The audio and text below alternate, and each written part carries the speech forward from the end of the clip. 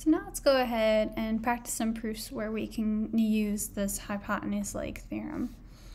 So here we're given that wy is congruent to xz, wz is perpendicular to zy, and xy is perpendicular to x or zy. So we're given a lot of information here. And I want to prove that WYZ is congruent to triangle XZY. So we see in this picture right here that I have these two triangles overlapped. So something that might help is to go ahead and actually redraw these triangles separate. So I have WZY over here. And then I have XYZ. And this kind of just helps to go ahead and um, re-look at this with the two triangles separate so that we can see it clearer. And I want to mark all the information that I'm given onto my diagram that I've made here. So first I know that WY is congruent to XZ. So I have WY is congruent to XZ. I also know that WZ is perpendicular to ZY. And so we have to remember what that means. Well, when a segment is perpendicular to another segment, that means they intersect at a right angle. So That means that there's a right angle right here. And then XY is perpendicular to ZY. That means that there's also a right angle here. So I've drawn all of my given information now. And so based on my given information of them being perpendicular, I can therefore say that triangle or that angle WZY and angle XYZ are right angles. And again, that just came from my definition of perpendicular.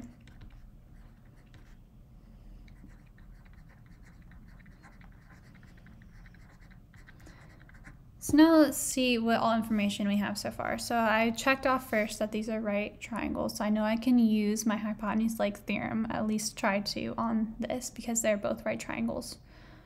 I'm also given that these two sides are congruent. So I need to look at and see what type of side is this. Is this a hypotenuse or is it the leg? Well, I see that this side is opposite of my right angle. So that means that this is the hypotenuse. So I already have an hypotenuse congruent. Now I just need to find the leg. So I need to figure out, is there some way I can show that WZ is congruent to XY, or that ZY is congruent to ZY?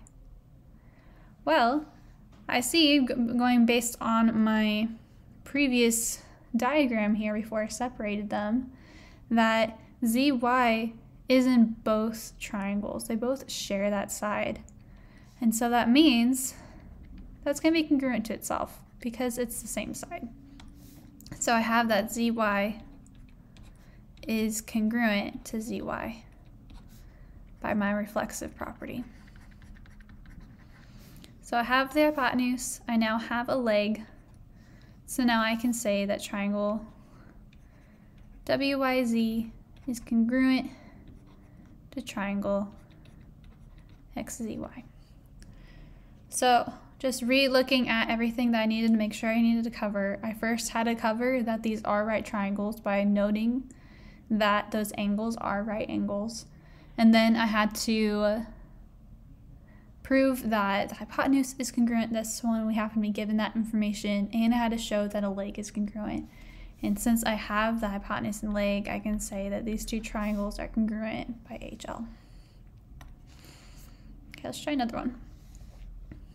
Okay, here I'm given that AB is perpendicular to NL, DE is, oh, this is a typo.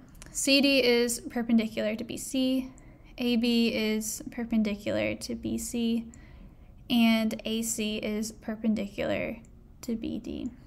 And I want to prove that triangle ABC is congruent to triangle DEC. So I have this given information. So first looking at my given information, and I already have these right angles and sides marked in the diagram so I can tell what side AC and BD are. Well, I see that AC is opposite of my right angle, and same thing with BD. So that's my hypotenuse. So I already have the hypotenuse congruent. And I'm also given that these segments are perpendicular. And so, that's they're perpendicular, that means they're forming right angles. And so I can say that triangle or angle ABC and angle BCD are right angles. That's from definition of perpendicular. And again, I need to note that because in order to use the HL theorem, I need to have right triangles. So noting that those are right angles lets me know that these are right triangles. And now I need to find a leg that's congruent. And similar to the last one, this triangle shares a side BC. And since it shares that side BC, I know that it's congruent to itself. And so I have the leg here.